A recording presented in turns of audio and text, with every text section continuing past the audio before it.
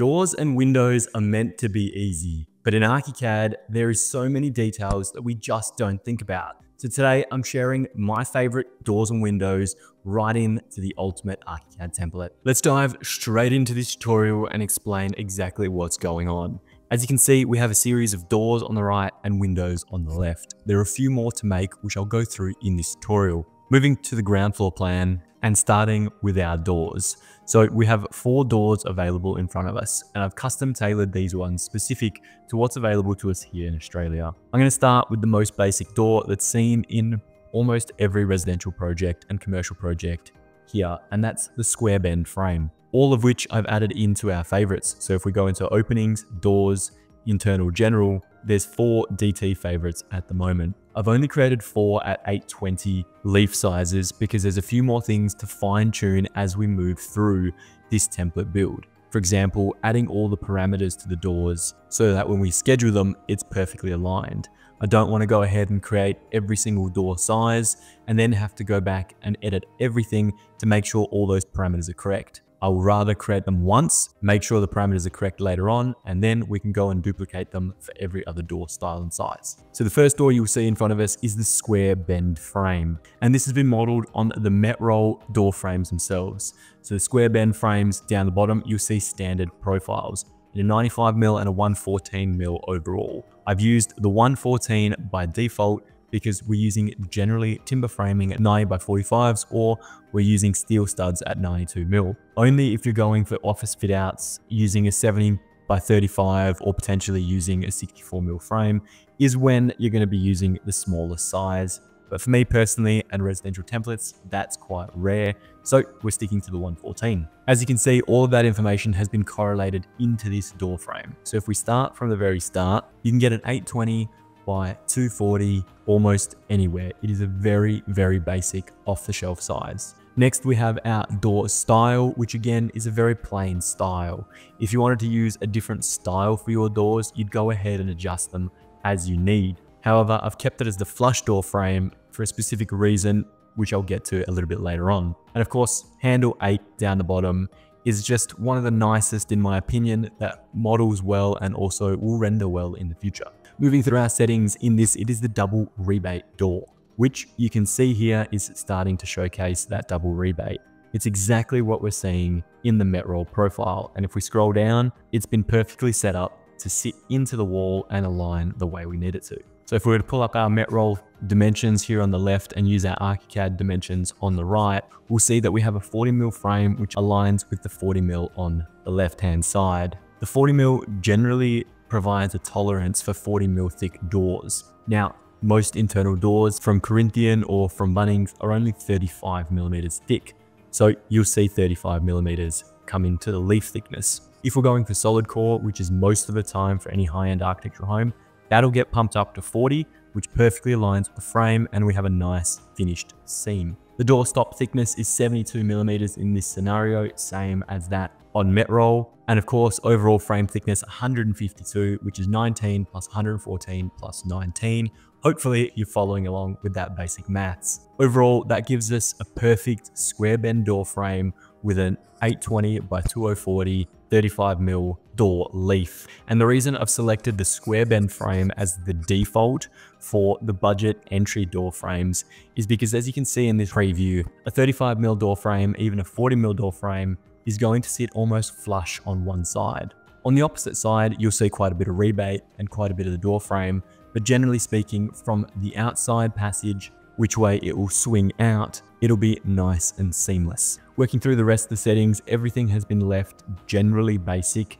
There's not too much in here that's worth going through. Obviously, it's been adjusted to miter joints and all of the frame and leaf materials have been adjusted. So in most cases, a door frame will always be painted high gloss or semi-gloss for additional impact protection, whereas the door will be finished in a matte surface. So that's why I've differentiated those two items. Again, in the future, when we go into 3D modeling and 3D rendering, that's gonna make life so easy. The reveal has been pushed back 22 millimeters, which makes sure it aligns perfectly in the wall. If we were to remove that 22 millimeters and hit enter, you'll see the door frame is pushed all the way on one side which is not how it is designed or how it is actually installed. So if we were to flick through the Metroll photos here, you'll see it sits proud of the finished plasterboard. And finally, to look at that door in full 3D, we'll see it sits proud of the plasterboard in 3D. It sits flush on one side. And on the other side, we have a little bit of detail. We have that square bend.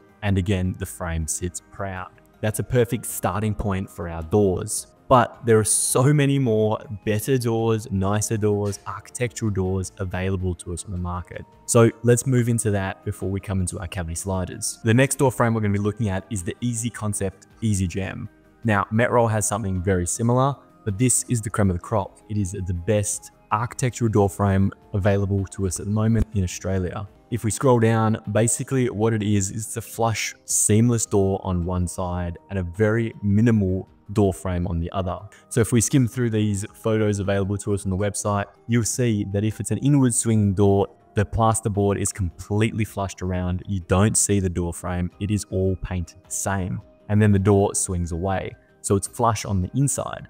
Whereas when the door swings out, it's again flush on the outside. In this particular scenario, they're using butt hinges, so you can see the hinges protruding from the door. But with doors like this, generally we'd use butterfly concealed hinges, so that when they're perfectly aligned and flushed to the face of the wall, you wouldn't see any hinges. You would just see the door handles protruding so you could know where that door is. If I open up the settings of that door frame and jump to the leaf settings, you'll see once again, we're still using that 35mm door, 820 by 2040 because that's a standard leaf. However, the frame thickness and everything itself changes. It is basically perfectly aligned with a wall. And in this scenario, it's been set up for a 90mm timber frame with 10mm plaster on both sides. If we show our 3D preview, that becomes super prevalent. You can see just the door frame is proud in this render. And if we flick to the backside, you can just see the painted plasterboard, which has of course been modeled in our 3D settings. So our door frame itself is stucco white fine, exactly the same as our plasterboard,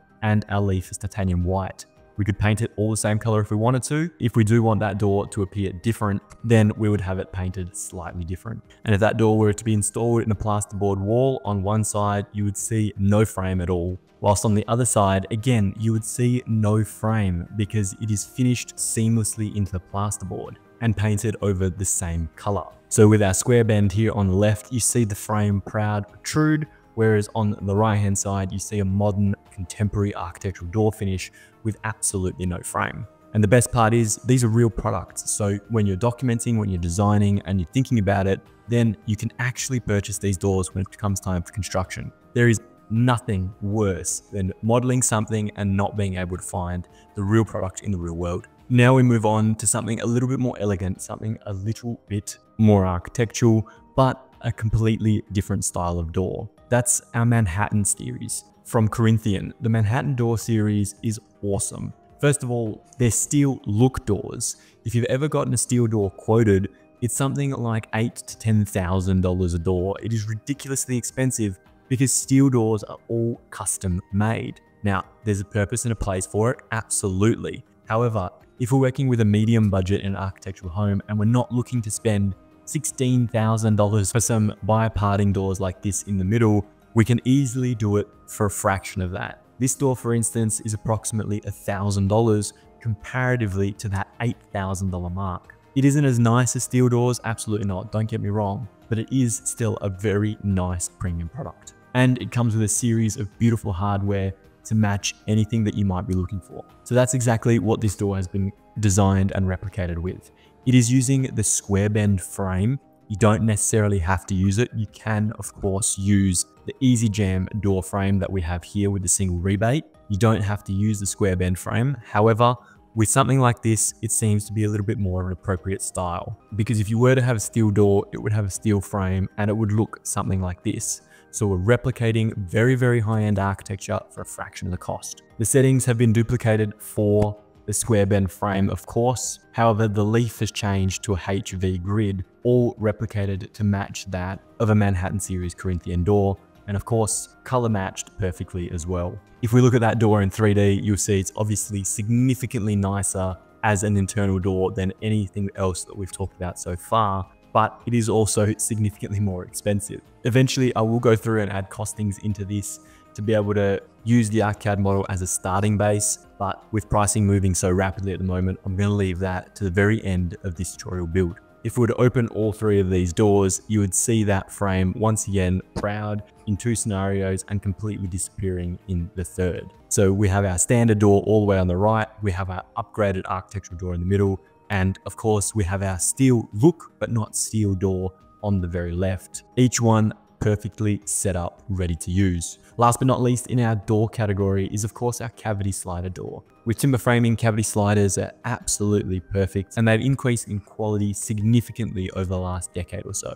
Once again, this cavity slider is using the Easy Jam system. And most cavity slider systems have a timber pre-built cavity ready for that door to slide in and then we're using our frames themselves. So in this scenario, if we're using it from Easy Concept themselves, we'd be able to get that as an all-in-one package. Looking at that 3D door, of course, we have our cavity built in behind, which basically just allows us to understand how far back and how much space we need in that frame to be able to install that door. We don't want to pop a door in like this and then find out on site that it doesn't fit because we haven't allowed enough space. And of course, as a cavity slider, we want that to be a little bit more premium, a little bit more upmarket.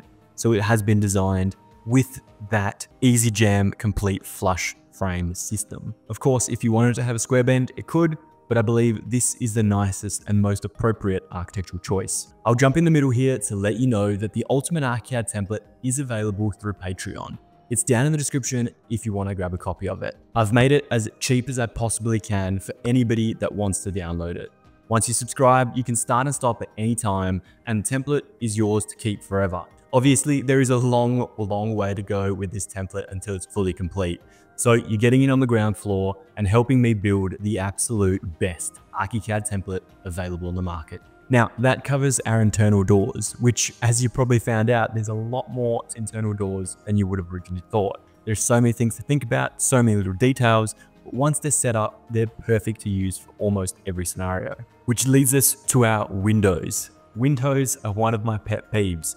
For whatever reason, every single window frame is different. Every single window frame is a slightly different size, a slightly different thickness, or a slightly different depth. It drives me absolutely nuts. However, it is something that you have to meticulously think about when designing and documenting. Personally, I've opted to use the Capral aluminium framing in this template. Now, before I go any further, none of this is sponsored by any of these companies. It's just items are generally used in construction and day-to-day -day operations. And Capral's frames are not necessarily the best, they're not necessarily the worst, they're not the most expensive, and they're not the cheapest. They're a frame that is going to be applicable for almost every job until you start moving into that next tier.